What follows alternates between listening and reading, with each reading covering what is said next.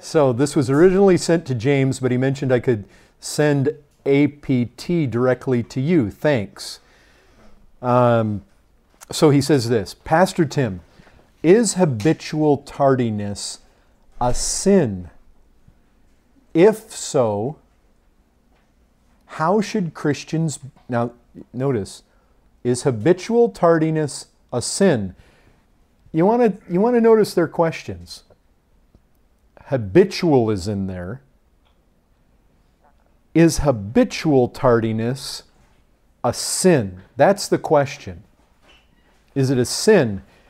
And if so, so there's an assumption, like he's already assuming that it is, but if so, how should Christians be living their lives in light of this sin being so overlooked? So there's another assumption on his part that this is very overlooked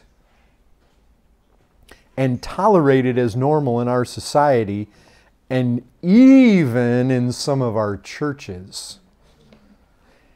If we can't call it sin, so now he's going to the other assumption if it's not, if we can't call it sin, then what is it? Does it have another name? And if it's not sin, but just something frowned upon, what is the standard that we're using to say that it isn't good? Isn't it akin to lying, saying you're going to do something and just not doing it? Also, what's the basis of our motivating punctuality if it doesn't exemplify a righteous Christ like life? Just to clarify, I'm not talking about being late as a result of something coming up or as a result of sudden tragedy or changes in uncontrollable circumstances. I'm talking about when someone is known by others and even by themselves, either as a person or even a body of believers, that simply is habitually tardy to arrive or begin events, meetings, because it has become acceptable to say it will begin at such a time and doesn't or we will arrive at such a time and don't. I hope I didn't linger too long.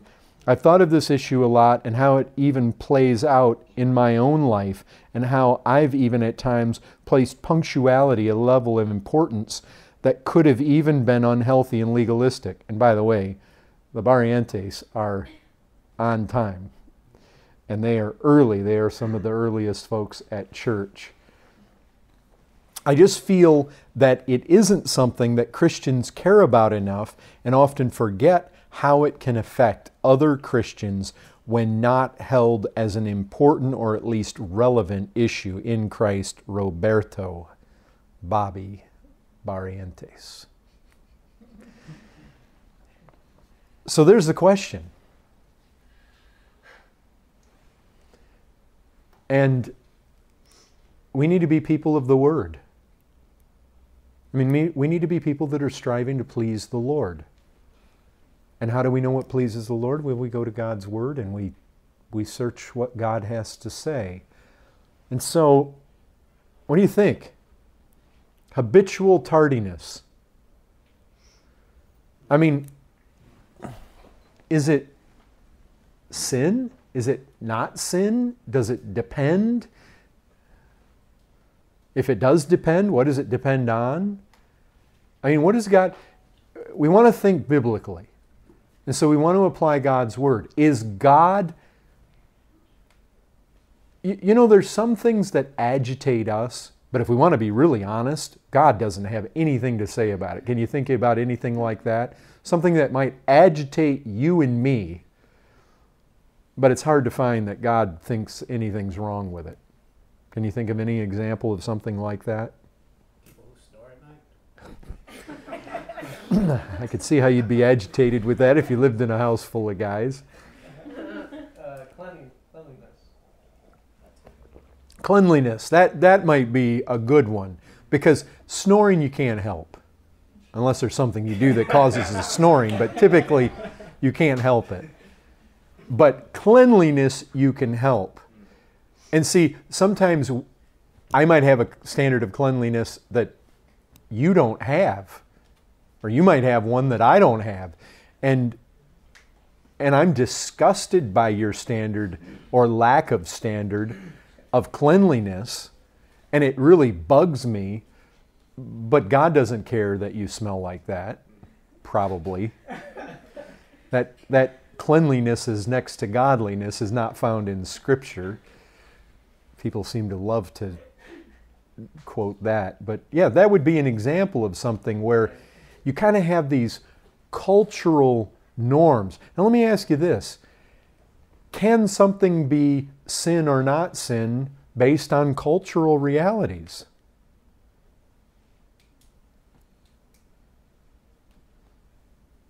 See, and I, I would say, I believe that that's what the head covering is. I mean, I believe that that is probably a cultural demonstration of femininity, something that, that 2,000 years ago in the, in the Corinthian society was very much recognized as that. And Paul says very specifically in that context judge for yourselves. I mean, basically, he's appealing to their own judgment of the way things are at that time. So I think, I think a cultural norm could be something to take into account. But when it comes to being on time, let's let's you know, I I think that if if we want to think about this thing, we have to recognize you're not going to find the text that has to do with specifically whether you're tardy or not. But there are other principles in Scripture that we would want to give consideration. Look, I, think one of the things that, one of the primary things that we have to ask when we're talking about being late is how does it affect other people? That is key. Because, because you know what? If if if I say to my wife, we're going to go out to dinner at 7 tomorrow and we don't go out till 7:30, you know as well as I do. There's no implications there. It doesn't matter. It doesn't matter that we determine where we were going to go at 7 and go at 7:30. Why? Because the ones affected by it are me and my family and we're the ones that are late. We don't care. It doesn't affect anybody. Now, the, the thing is, if Daniel's got something to do at 9 o'clock and he's involved in this meal, and I say, Daniel, we're going to be there at 7, I know, I know, I mean, and he's scheduling his schedule around that, and we waltz in at 7.30. Now, that's a different case because now we have somebody else involved, and there are implications of how my tardiness is affecting him. And if I told him that I was going to be there at 7 and I didn't come at 7, now I've got another issue. What issue? Yeah, there's an integrity issue, there's an honesty issue. And so there's other principles that we need to think about. What other principles? I mean, maybe honesty, how it affects other people. Leaving a good testimony. Leaving a good testimony. But again, it would be well, how am I leaving a good testimony? And we have to remember that this thing is is this sin or not? Is my being on time or my, my not being on time actually something that we can look at and say is wrong? Well, I would say submission to elders and leaders, like 1 Peter 5 and Hebrews 13. I mean, would that would you consider it something? Uh, well, that's an issue. The nature of disobedience. I mean, certainly if you've got certainly if you've got some kind of a situation where you're under authority and the authority that you are under is requiring that you be somewhere at a certain time then yes, you would you would basically have a disobedience issue. So that would be another thing to think about.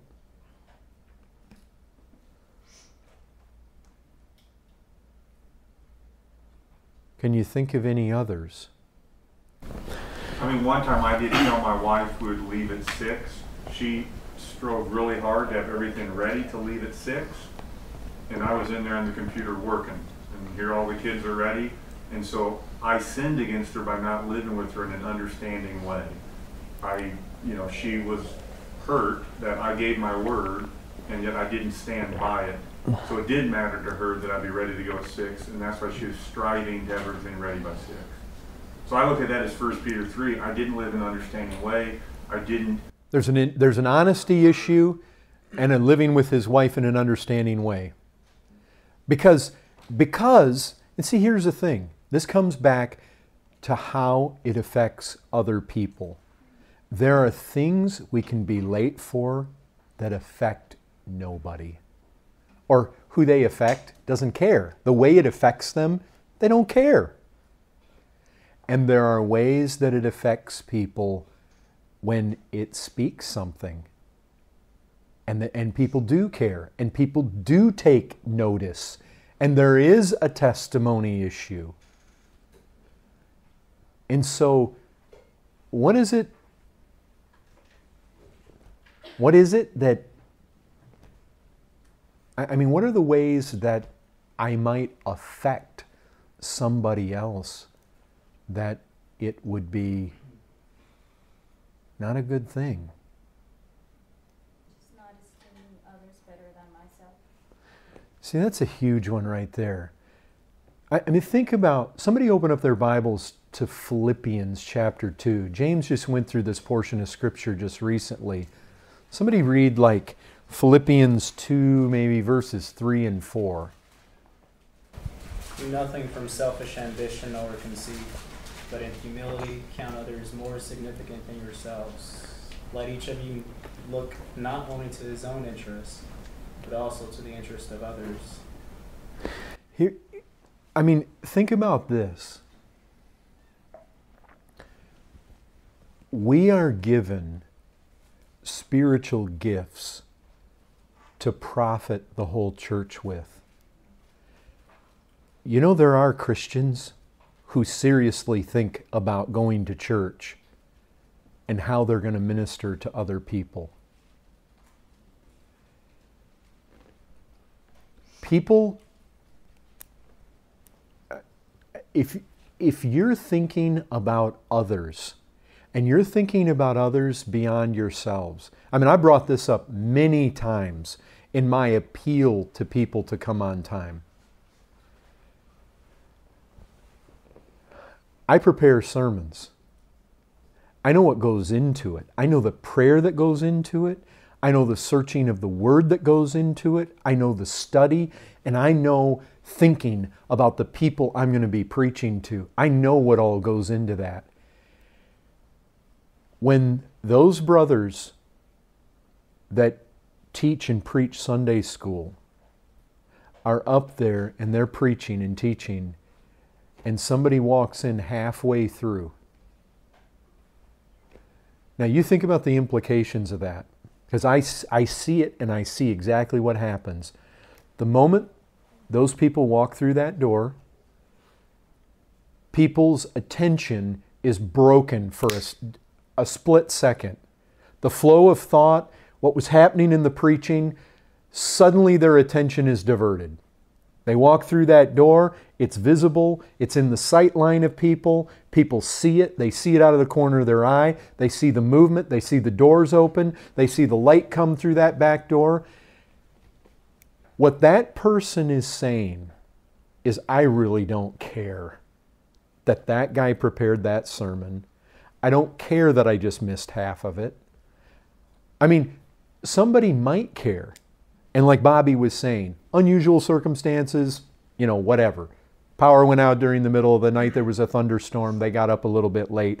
Unusual. Uh, you know, flat tire on the way to church, whatever it might be.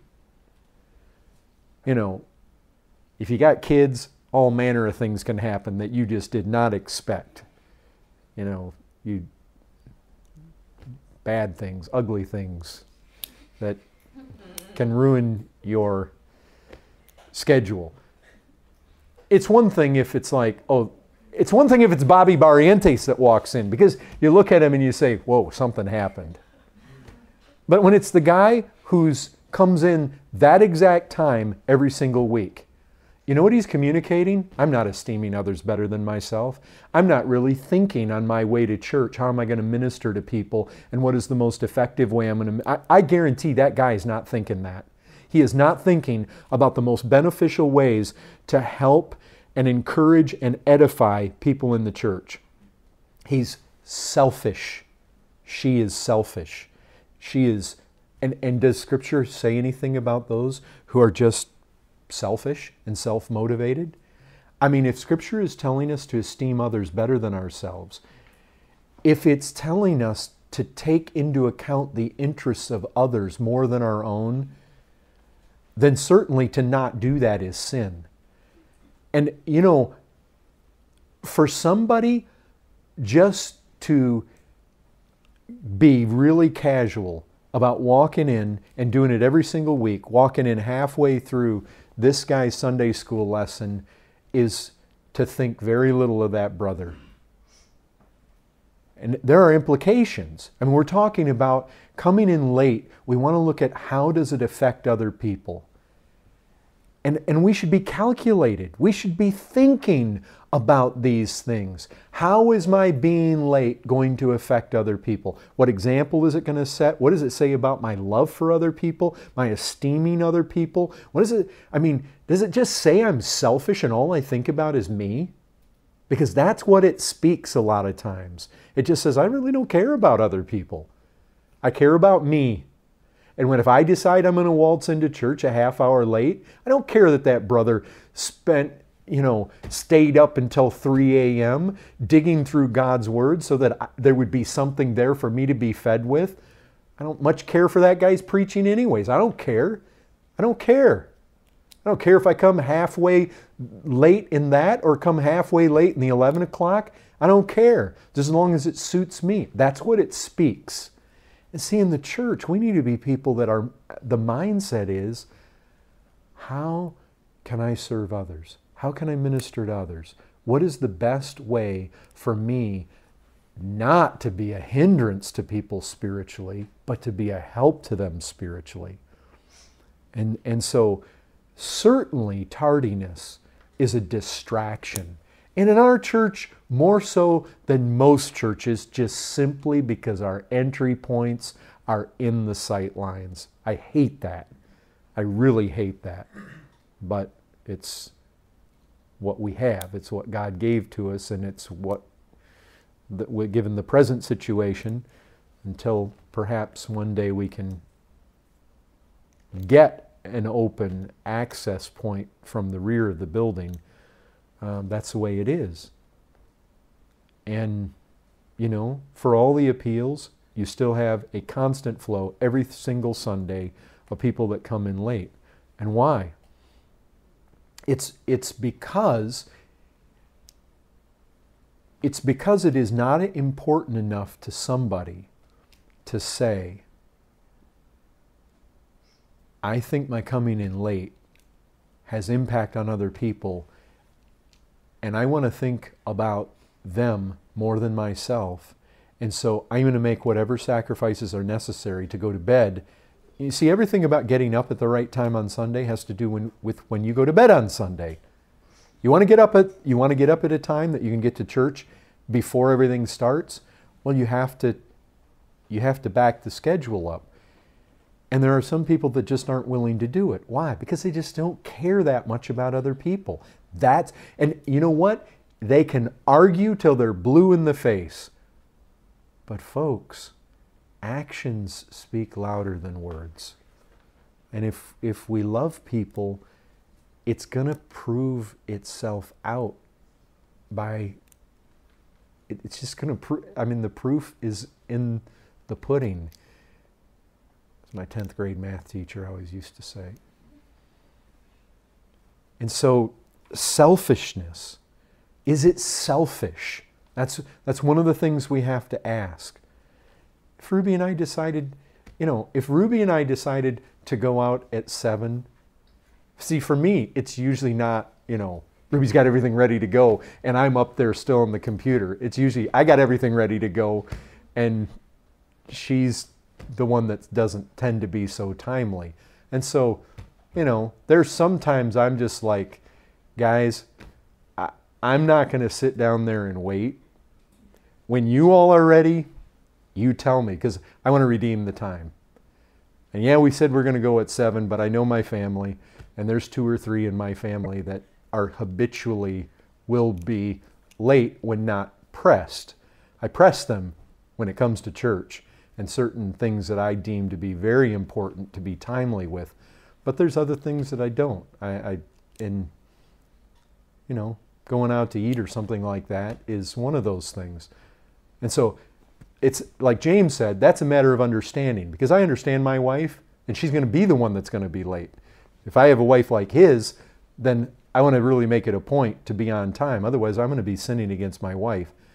And you know, my wife got all the kids ready and I'm still in there, you know, I got to take a shower before we're going to go and here it is 7:05 and I'm unshowered, undressed and you know, sitting there in my boxers working on the computer. Not that James necessarily sits there in his boxers, probably putting images in all your minds you don't need. But I don't do that. I sit just like I am right now. I believe you, James. Excuse me. but we want to ask is it selfish? Is it unloving? Is it lazy? I mean, laziness is a big thing. Laziness. How much does how much do the proverbs speak about the slothful man? What's I mean, what does scripture liken the lazy man to? A door on the hinge. What else? Smoke, vinegar. Vinegar to your teeth. What's vinegar like on your teeth? Smoke in your eyes. It's not a good, I mean, it's not a good picture. But laziness. I mean, somebody look up Proverbs 10:26. Tell me what it says.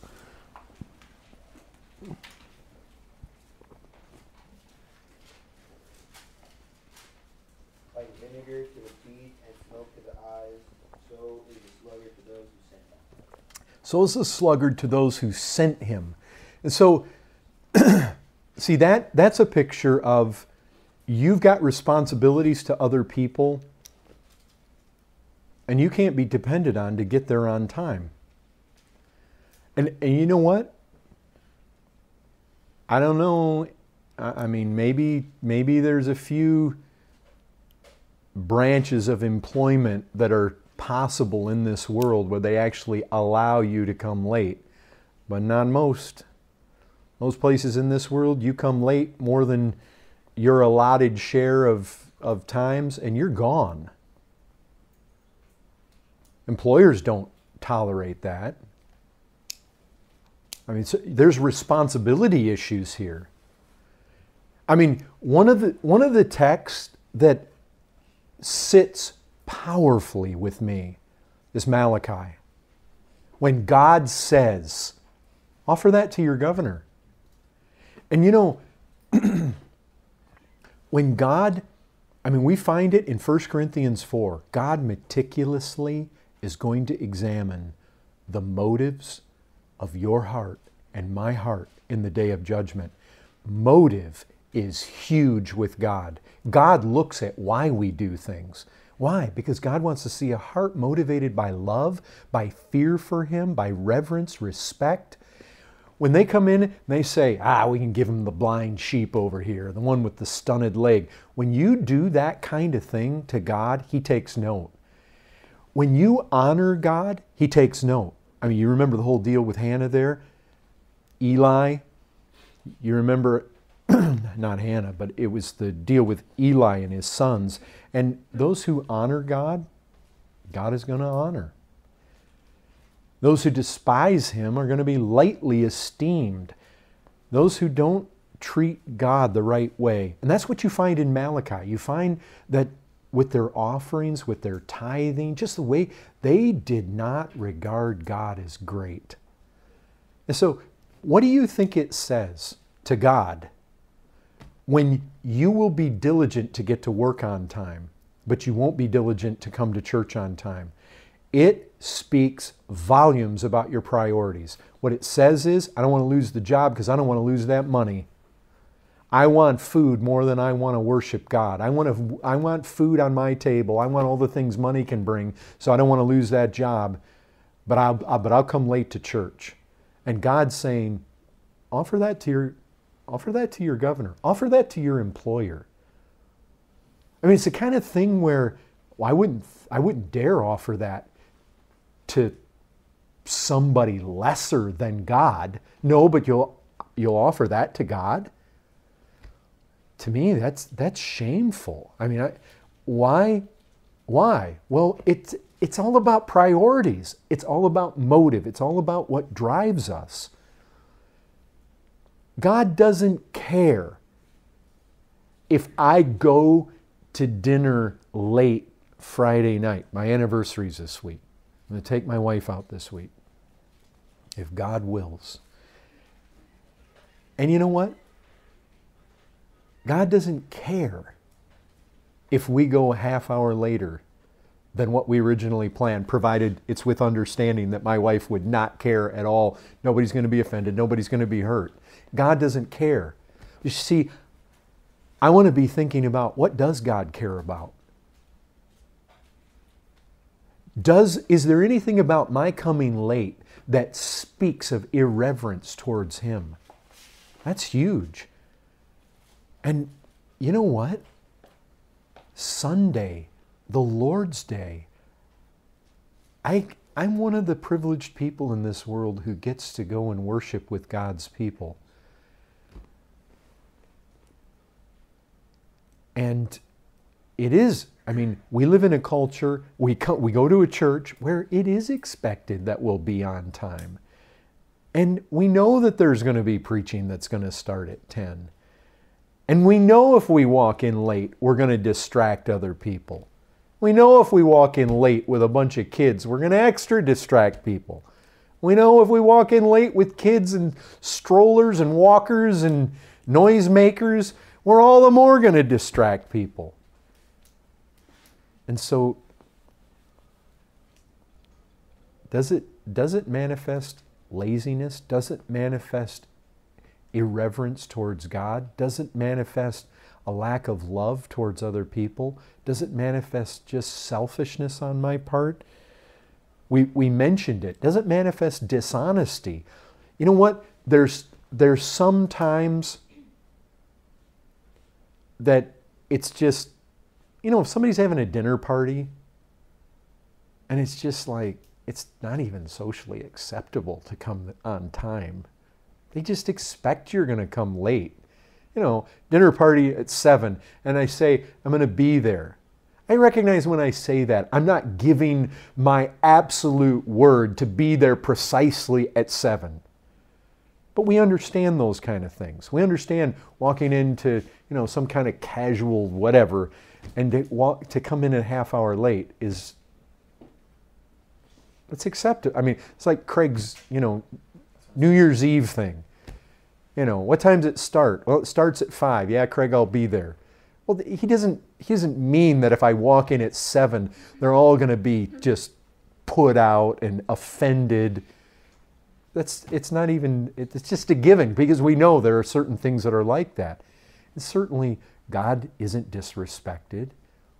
Certainly people aren't unloved. It certainly isn't some huge manifestation of selfishness. Nobody cares.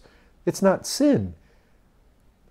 It becomes sin in the way that it affects somebody. It becomes sin if it's dishonesty. Because you know what? We know full well there are times when we give people our word that we're going to be somewhere at a certain time and not to come is going to be considered a lack of integrity. It's going to be considered to be dishonesty. What would be an example of that? Hmm? An interview. Now think about an interview. Like I have read I've read different interesting things about interviews. Like, ooh, which, which missionary was it that went to the mission board to be interviewed? and the guy purposely made him sit for two hours I just read that. to test his patience. That was the test. Guy full well knew he was there, and he made him wait two hours to see what he was made of. But then I, I read just recently about an interview that was to take place. Both parties were there on time, and one waited in one place and one waited in the other place, and they didn't know that either one was there. And so, anyway, that's missing the point, I'm sure, but just just something I recently read about. But I mean, look, that's kind of like the employer situation. You got an interview, you show up late, you probably not getting the job. I mean, and and you know what? That again, your own laziness. How does it affect others? Again, that's the question. How does it affect your family if you can't keep a job because you can't get places on time? You can't pay your bills because you can't keep a job because you're always pathetically incapable of getting up when the alarm goes off. That's bad. And so, again, it's how does it affect other people? Scripture, scripture speaks about self control. I mean, self control is a quality of church leaders. And obviously, it's a, uh, self control is. I mean, what are we talking about when we're talking about self control? Well, you've, you've, you've got control of yourself. You've got control of your bodily appetites. You've got control. You can go to bed. You got self control. You can live a disciplined life. You can go to bed at the time that you determine to go to bed. And you can get up at the time you determine to get up. And you can get to places. I mean, self control is, is you got the ability to control yourself so that things happen when they're supposed to happen. You can actually do the math and you can live by the schedule. You can, what, what do I mean by do the math? Well, you can figure out, well, if I'm going to be at church and ready to go at 10, I should probably not strive to be there at 10. That's not good. I walk through the door, there's certain things got to be done, maybe bathroom, if I got a family, if this and that, if I'm going to talk, I don't want to walk in right at 10. So if I'm going to be there at 10 and be ready at 10 to listen to this preacher at 10 i probably want to get there at 9.45 or 9.30 and so okay drive time is basically this. If i'm going to get there at 9.45 then i need to leave my house at this time if i'm going to leave my house at this time i know i pretty much need to be walking out the door at this time if i'm going to walk out the door at that time i really know i need to be done in the bathroom by such and such time if i'm going to eat I know that I have to eat by that time. If I'm going to do all this, I'm going to take a shower, I know I need to get up at this time. If I'm going to spend time in the Word that morning, I need to get up at that time. I mean, you're able to actually do the math back all the way up and say, okay, if I'm going to be at church in my place, ready to go at 10, well, then you put all the numbers together and you recognize, well, then I need to get up at 645, whatever it is. And to get up at 6:45, if I typically need a good night's sleep of 8 hours, back up the clock. Yep, then I need to get to bed at that time. And so what happens? Well, if that's a priority in my life, then I'm going to make God my priority and I'm going to respect him and I'm not going to offer him anything less than I'm, I would give to my parents or to my employer or to my spouse. I'm going to give him the best.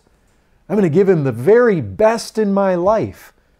And so there's one day out of the week that I set aside to worshiping the Lord with the brethren, not forsaking the assembling together of myself with my brethren. I'm thinking about ministering to them. I'm thinking about the best ways possible.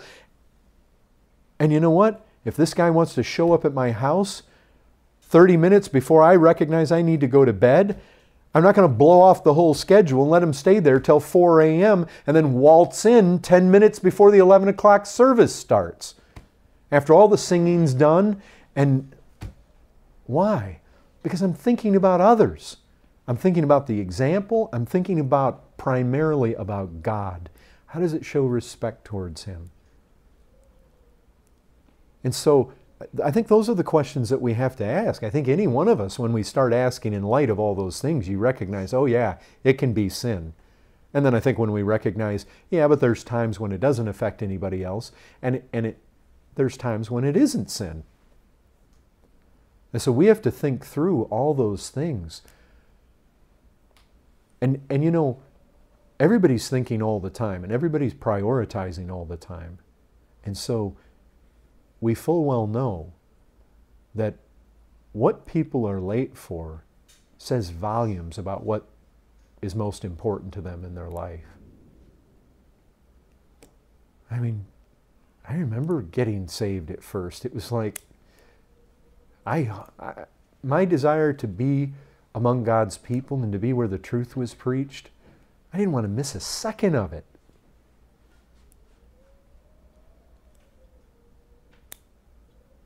I'll admit, it's become more mechanical now. I wish I still had every bit of anticipation that I had as a young believer, but I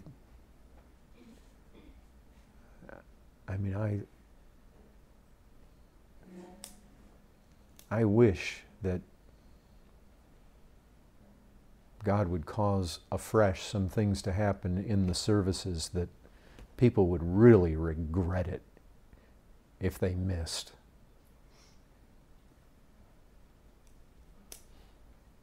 I mean, look, you got to ask yourself this.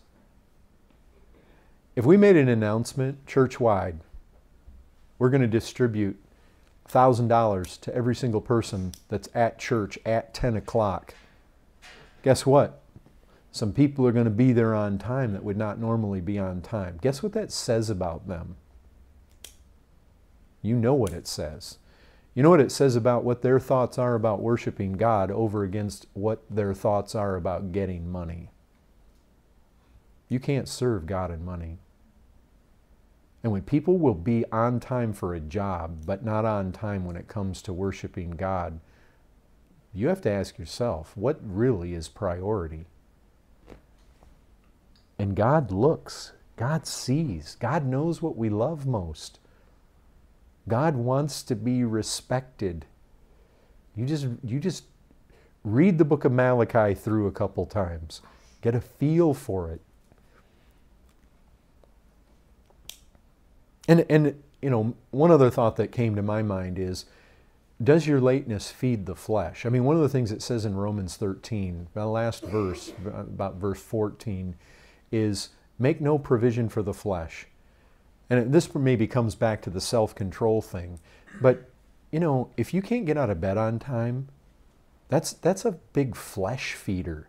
And I'll tell you this you feed the flesh at one point, you'll become sloppy at other points.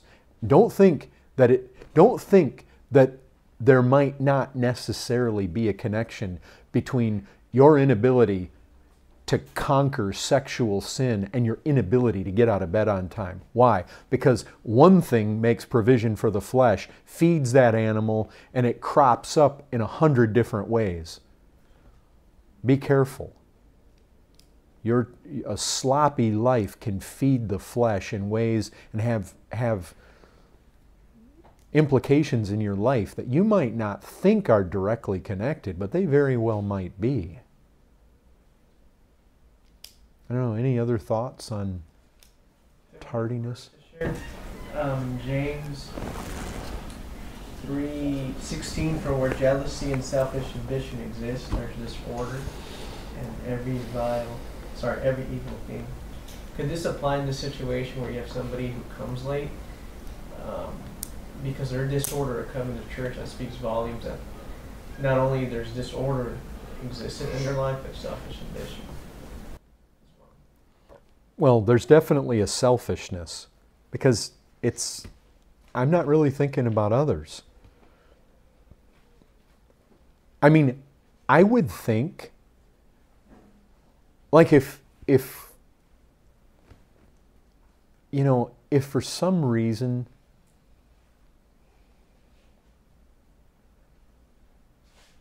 I, I, I guess I guess just oftentimes, I, I mean, it puzzles me sometimes when people will walk in, like to the Sunday school, five minutes before Sunday school's over.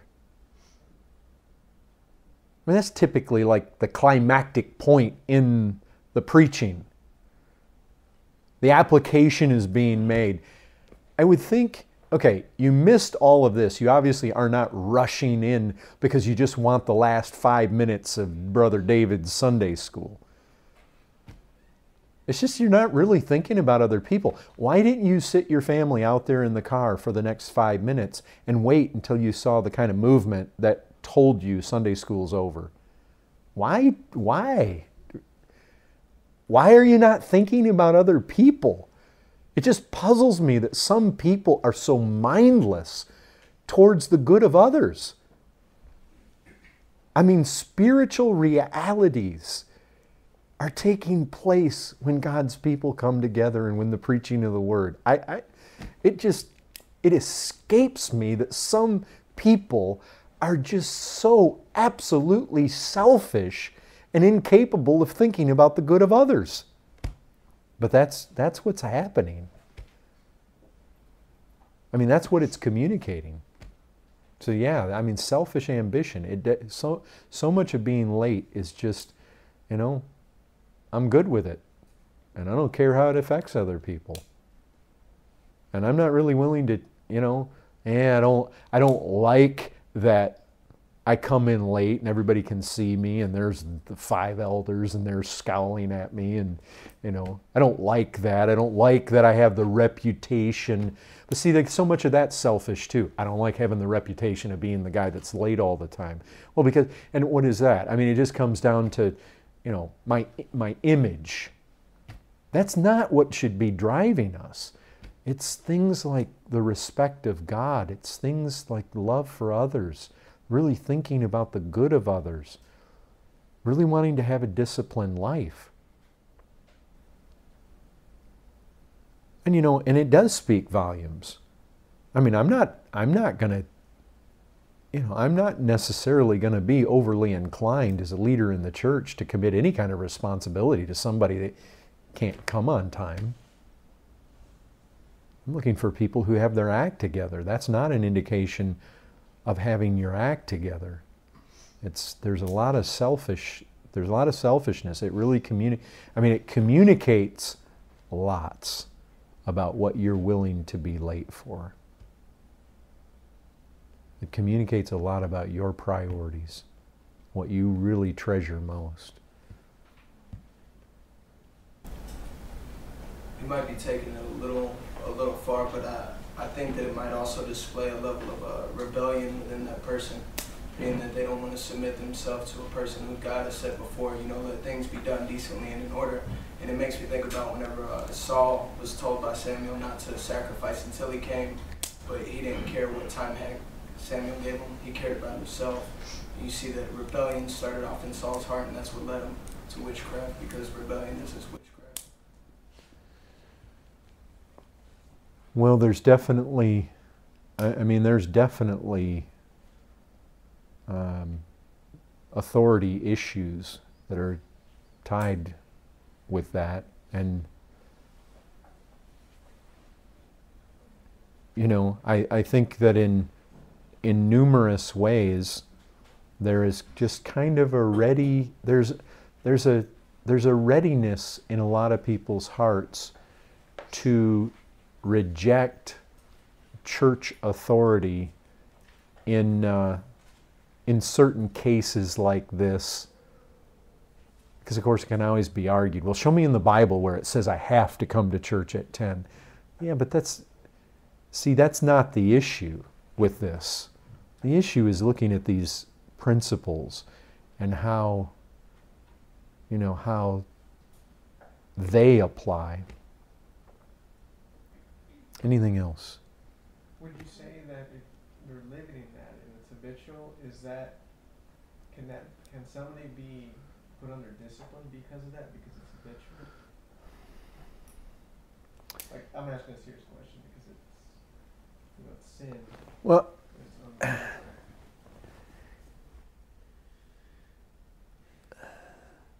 could they be?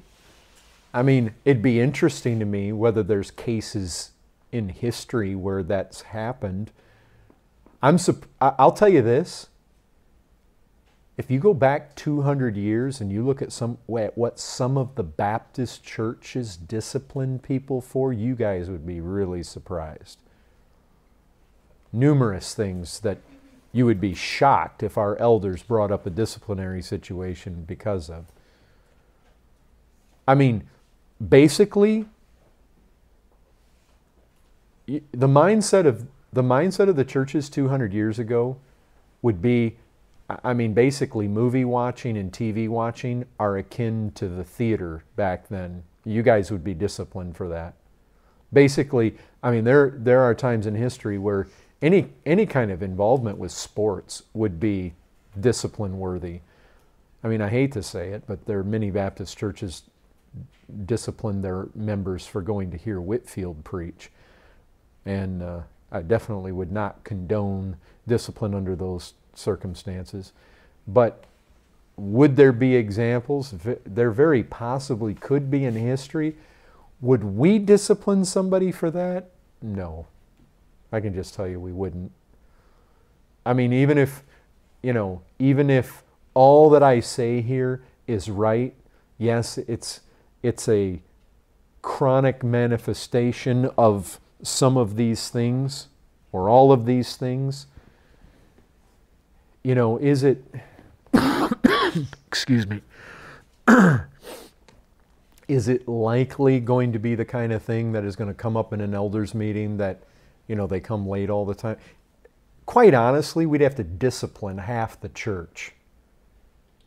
Now,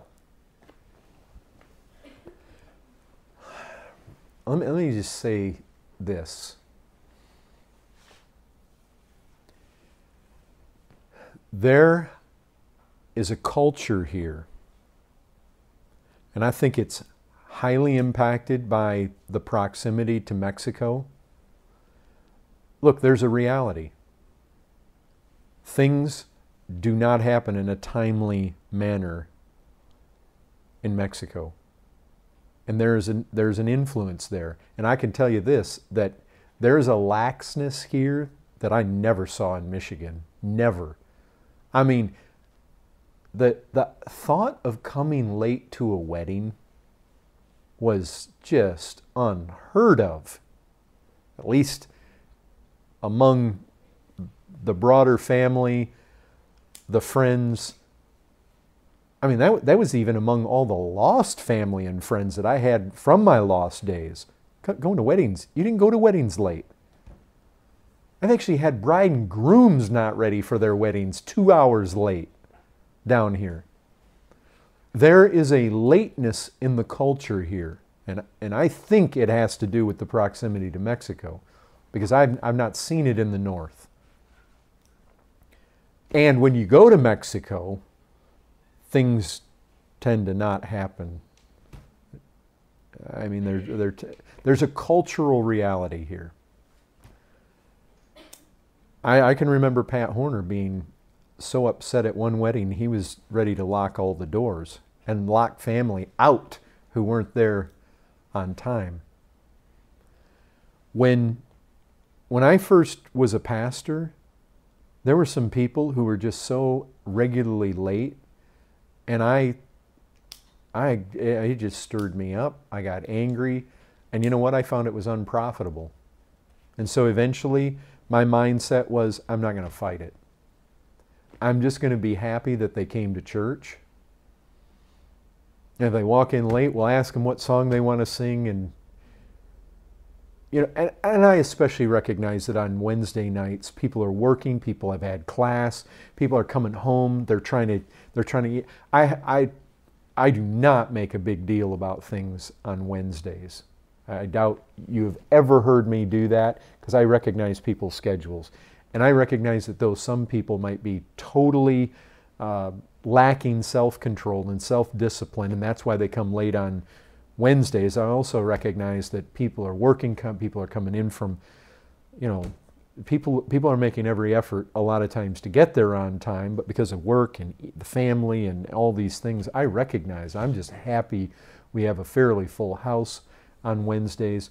But I got to the place, I remember there was a place where I came to that point where I said, concerning people coming late, I'm not, I'm not going to get bent out of shape. I'm just going to be happy they're here even though they came late. And I, otherwise, I'm just going to be agitated all the time and it's not going to be helpful to me. But that was in other days. Now that we're in this building and it's so visible and it's such an interruption, I'm agitated by it again. And, and just because uh, it is a distraction to everybody. And because, and because again, these, these principles, how does it impact others? Because coming late so publicly affects other people, I just wish people would come before 10. If they can't make it, stay outside, sit in your vehicle, don't interrupt anybody, and come in when Sunday school's done. And then and if you're going to come at that time, come on time. Don't walk in halfway through the singing and have the light from the door or whatever reflect around and people see things and they're distracted. Don't do that.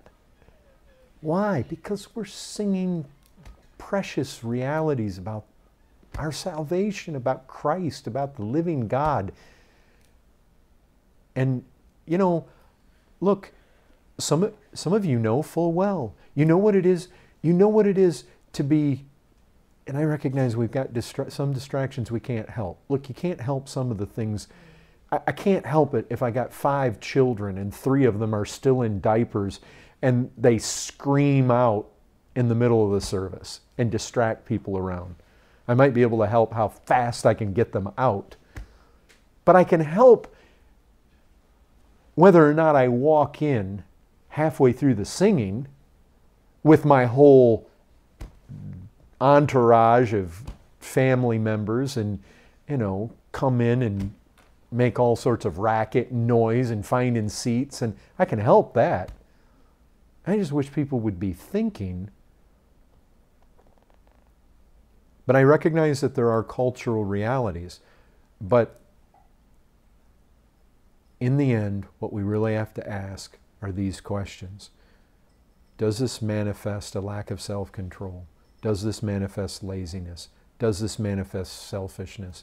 Does this manifest a lack of love for other people? Is this feeding the flesh? I mean, we really have to ask those, those questions. The primary thing I think is how does it affect others? And starting with God, how does it affect God? Does He see that the motive of my heart is setting Him in first place? I'm, I'm going to give the best to Him. He's worthy, and I'm going to show it by the way that I live my life, including the time I get places, especially when I'm going to some place because it involves His Word, His honor, His worship, His Son, His people. so, we got done with one. We'll do the next one next week.